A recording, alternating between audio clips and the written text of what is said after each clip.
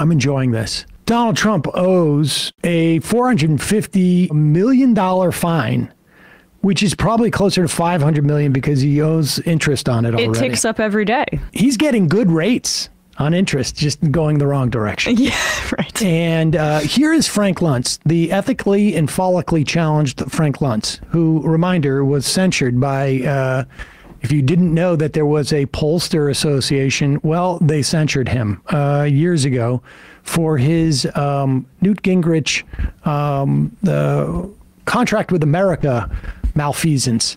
And uh, here he is um, pretending that somehow, and this is uh, this is illustrative because this is what the Democrats worry about.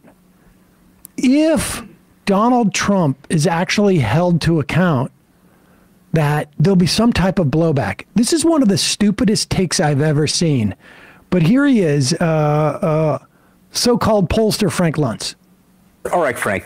The politics of this. Folks in the Biden campaign are already starting to refer to Donald Trump as broke Don, which is interesting. And then there is the possibility that the New York Attorney General, Letitia James, would have to start or would start seizing assets, maybe even buildings. How do you think that would play? I want you to remember this moment and don't forget it that the New York Attorney General starts to take his homes away, starts to seize his assets. Pause it for one second. I just want to be clear. They are seizing right now. She is filed in Westchester County to take one of his uh, golf courses away, and then like a uh, undeveloped, I guess, uh, another project that he's done, and they're going to start with that. So I want you to remember this moment.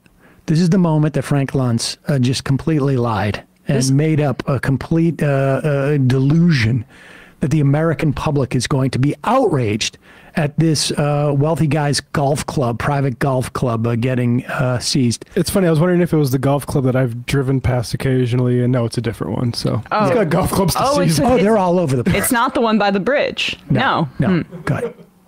Starts to take his homes away, starts to seize his assets it's all going to be on camera. Pundits are going to sit there and scream about this. This man cannot be elected.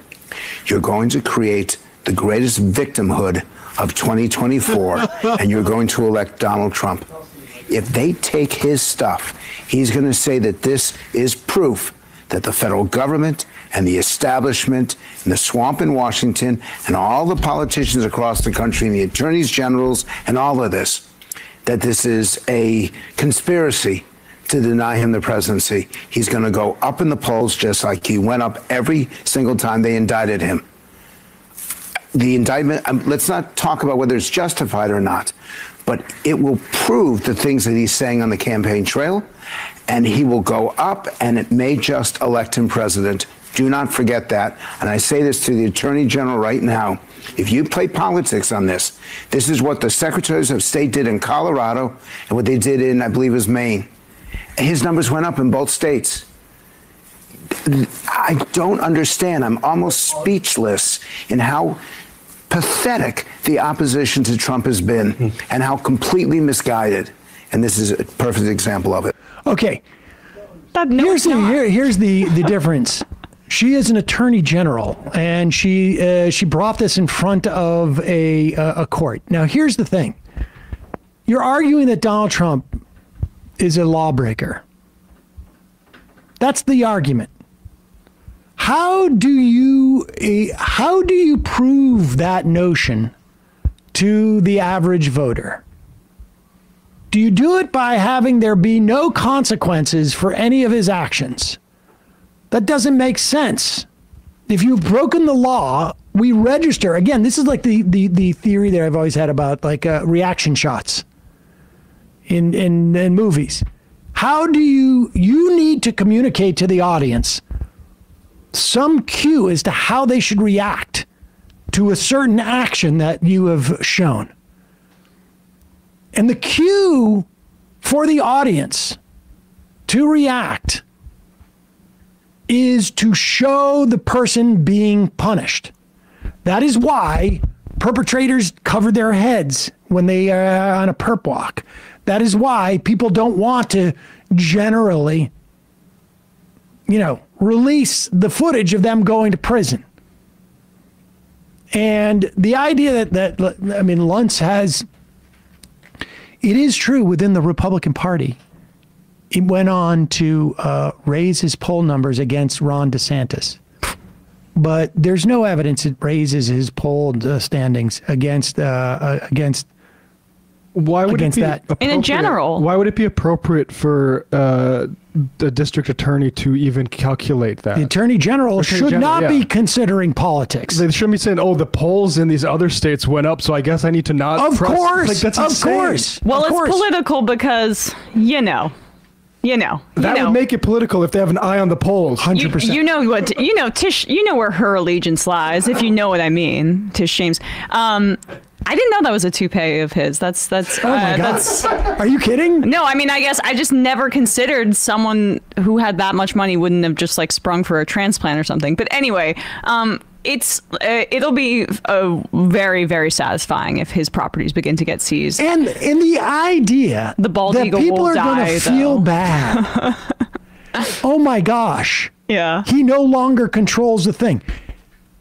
We should say that today, his completely fraudulent valuation for the going public of Truth Social and Trump Media at something like $3 billion. The operation has revenue of $1 million. where did they get that evalu- that valuation Well, this is the thing out of about their ass you can make up your valuation. You, you- that's what they do all the time. There's some standards that, that people uh, will base it off of, and it's just an argument.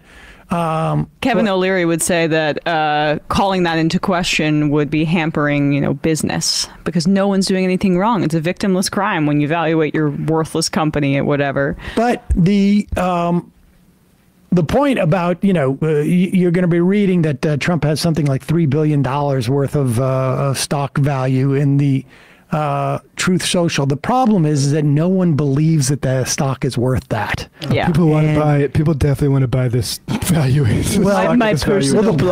problem that he's going to have is he's going to say to a bank, I'll put up two and a half billion dollars worth of this stock for you to loan me 450 or whatever, 500 million. And the bank's going to go, ah, dude, your stock's not worth that. Yeah, yeah. Like Right. I would say your stock is worth probably like thirty million dollars, maybe, and that's really just more like your gold sneakers. Is that like uh, yeah, or his gold toilet, which when it gets seized, no? it but will my be the point- worst day in my America. point is like, Yeah. it, it might be fun to own the stock in the same way. It's like, oh, I uh, I got uh, I, I have got a Trump NFT. I got a Coke. I got I got one of those Coca Cola cans from Yeah. when they rolled out new Coke. You know, it's just like a collector's item. But it ain't worth. No bank is going to say, okay, we'll take this. I mean, the it, it would be. Is he trying to dupe people into actually like investing before they, you know, go public with Truth I, Social? I, I, I think the idea is that the, he wants to use the stock as as collateral for this loan. It's not going to work. And here is Donald Trump's attorney. Uh, what's her first name? Habba? Alina Habba. Alina Habba. Who went to my high school. Um, 10 years ahead of me, but yeah, rough for Kent Place School for Girls. here is the question uh, as to like where uh, where Trump is going to be getting this money, and he won't, folks. He really won't. Uh, we're I think we're going to see seizures start uh, next week, but we'll see. Um, is there any effort on the part of your team to secure this money through another country, Saudi Arabia or Russia, as Joy Behar seems to think?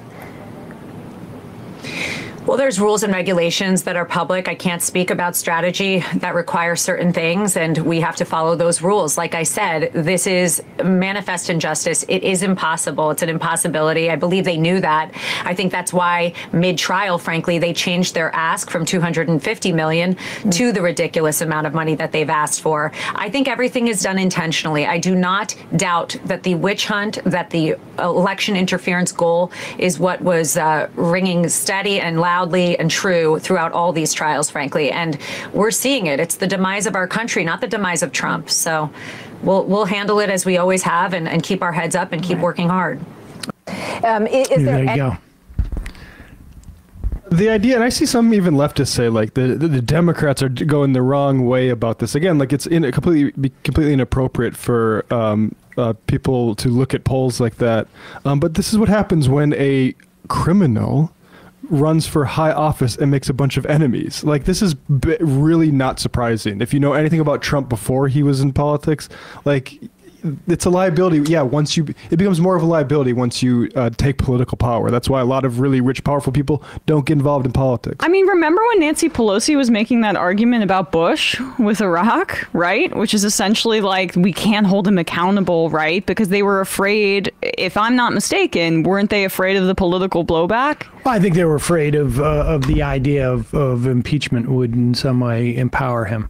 I mean, the It's- but that's uh, insane. That's an insane way to think about things. And it's this just is, I mean, the, the, these are people who uh, grew up and their mentors all basically said, like, it really hurt with Nixon. Nixon, you know, the Republicans came roaring back. it helped Clinton. The well, that's the point. Getting impeached helped Clinton, and that's what oh, they're well, afraid of. Oh, right. Yeah, yeah. I mean, yeah, that's yeah, what yeah. they are I guess afraid that's of. true. but Um, that's because it was bullshit. Well, I think the it's American whether public, it helps or not for like these this legal That's sort of true. Yeah, yeah, yeah. consideration. Of It's course, irrelevant. of course. You have to hold people to account. You have to do it. And and certainly you have to do it if you're saying that they broke the law. Yes, it's obvious to everybody that they break the law. Yeah. All right. Don't fly too close to the sun. It's a little thing called Icarus, okay, Trump?